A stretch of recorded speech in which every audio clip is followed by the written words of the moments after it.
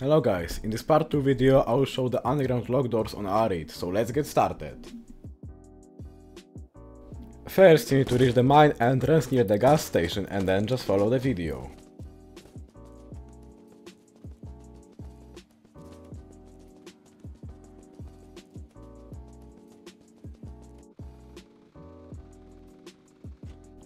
In the first door you can find some materials to craft explosives and some military loot.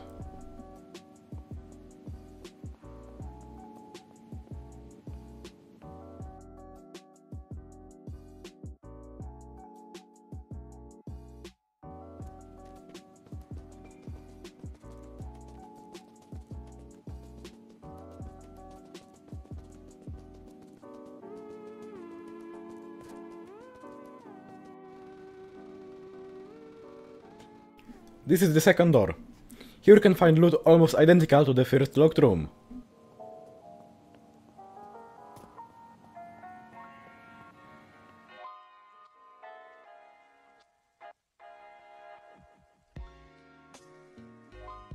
If you enjoyed the video, don't forget to leave a like and subscribe to the channel. Have a nice day guys.